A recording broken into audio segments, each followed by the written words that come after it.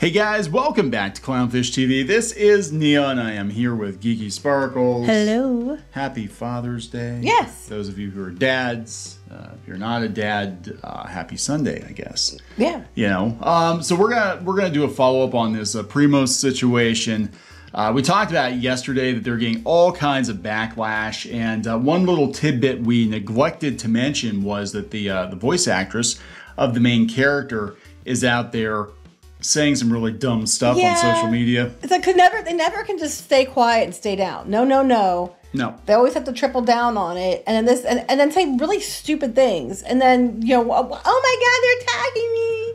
Yeah, yeah. So we're gonna we're gonna talk a little bit about this and and uh, look at the reaction to it. And look, this is part of the problem with social media. Social media is great for promoting your your shows, your movies, your video games. It's also great for demoting or anti-marketing for your shows, movies, video games, and comic And it's usually books. the voice, the voice actors, the actors that are the ones like we saw with Cowboy Bebop. Yes. Before it even came out, you had the the person um, Playing playing, Faye, Faye, yeah. going out and making all the comments they were making. Yep. And then it just turned about to off before it even arrived. I mean, she had kept her mouth shut. It might not have landed with such a thud. Yeah. Initially, it still would have, you know, thudded out. But Yeah, but people would have at least given it a chance. You would have got that precious watch time in, and uh, you know what happened was is that uh, Daniella Pineda, I think her name was, but she was out there, you know, smug, smarmy.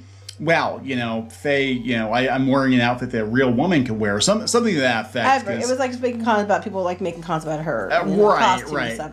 And I was like, oh, this is not just why? Why'd you do that? I mean, I understand what you feel personally attacked. I get that. I really, truly do. But sometimes you're best to just say nothing. Yeah, I think these studios need to rein their people in and tell them to say nothing. Uh, so we're gonna we're gonna talk about this because now the bigger story beyond all the tropes and primos and all the stuff we talked about yesterday is the voice actress going out there and and taking people to task and falling on her face. Basically, she looks condescending and smug, and people are not happy with her. So before we get into it any further, please subscribe for more pop culture news, views, and rants. Guys, you get a woohoo if you do. Woo! All right, so yeah, check out that other video. We're not going to rehash everything, but we are going to show you um, her reaction here. This is uh, Myrna Velasco, I believe, is the uh, voice actress of um, what's her name, Tater. We're going to run this clip. I think she put on TikTok. Hold on one second here. The Spanish language is not a Latin American language. It's a language the Spanish conquistadors forced upon Latin American people. The only reason we're Latin people and not Native American people I hate when they. is because of that distinction.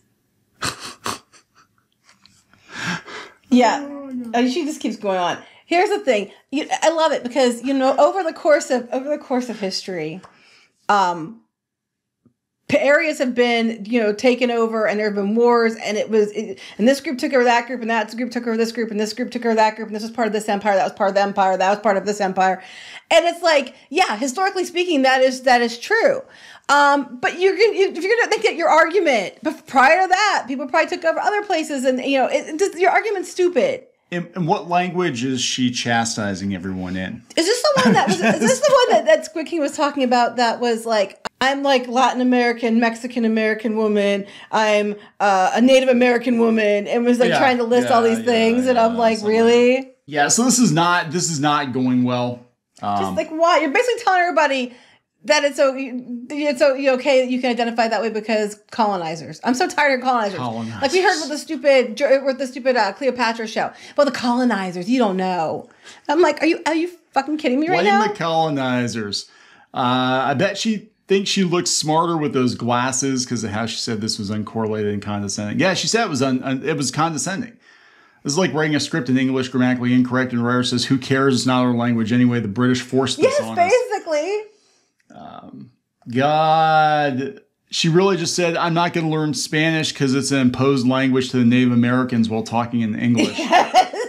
she did. what can I say except yikes?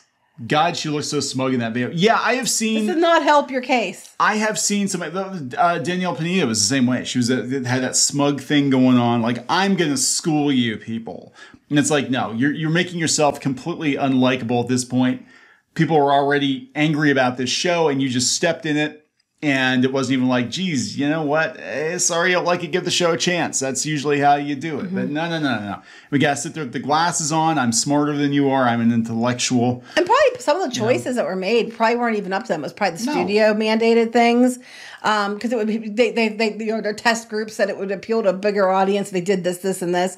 A lot of times it's not even their fault. Like even with Kevin Smith, like with He Man, I think a lot of the mandates were from Netflix. Oh, yeah, I'm sure. And, I'm you sure. know, that, but they they take all the heat, and they can say that, but they won't say that because they're afraid they won't get another biscuit. So instead of saying nothing, they just go out there and step in it further. Uh, she talks like she's a bully from a teen drama.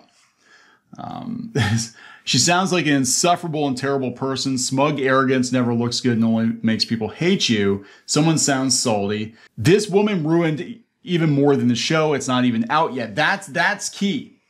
Like again, you know, when these people go out there and they shoot their mouths off before the show comes out based on backlash, it's probably why they gagged Ezra Miller, because God knows what Miller would have said, you know, regarding the Flash. They did this to try to, you know, save the movie, but in this case, I think they need to have a clause in the in the freaking contract. Like if you're gonna work for us and you're gonna represent us on the show, shut your shut your damn mouth. I like this one, the criticism of our cartoon that few are going to watch anyway, exactly, It was over the top, in my opinion. But the creator and now voice actors' responses are not helping their case either. I think Disney is flat out cursed. Yeah. Yeah. So here's the thing um, it's not just that. Okay. She was out on Instagram too. She actually called Mexico a, uh, a shithole country. Okay. Now that is a refer- yeah, reference. I would say there's a context, and people are pointing out though it was a, a they think it could be completely it's calling a shithole country. They yes. think it was in reference to Trump saying it was about Mexico being a shithole country. Yes, that that's that's the running theory. But given her her condescending attitude, people are like, okay, this is too much. So she talked about how her her family uh, left their shithole country to come to the U.S and uh, she got to work her dream jobs because of it. Probably not not a good look if you're you're trying to uh, uh, be the the face or voice of representation. Yeah, but this is like during the election. It was like three and a half years. Ago. Yeah, yeah. I, I think it, by the hashtag, it was about um, what Trump had said, or they said Trump had said. Yeah. Um, it wasn't about this now. People are bringing it up now, and I mean, I, this is no different than when the person that worked at like limited run games had a tweet from like four years ago, five years ago, and someone went through all their tweets to find one thing. It's kind of like that. I don't necessarily think that instance is an example of them, you know, crapping on their on Mexico. Yeah. Um. However, the comments they're making now, they should just not talk you know, they're just now they're just now they just won't stop talking, which is causing them problems. Oh, absolutely. So um, anyway, I think I think we'll wrap we'll wrap this up. I don't know what else to say about it. I think the show's dead on arrival. Uh, again, you know, video yesterday it was downvoted to oblivion. YouTube turned the comments off. And uh, it's getting slammed, especially South America. It's getting yeah, it's getting slammed. They're the ones that feel like they're being dissed, which is right. understandable. Ooh. so there we go, guys. We're gonna wrap this up. I yep. think we need to wrap it up. Please subscribe for more pop culture news, views, and rants, and we'll talk later. Bye. Help support the channel. Go to thereef.support and get early access to podcasts, videos, and other content. That's thereef.support.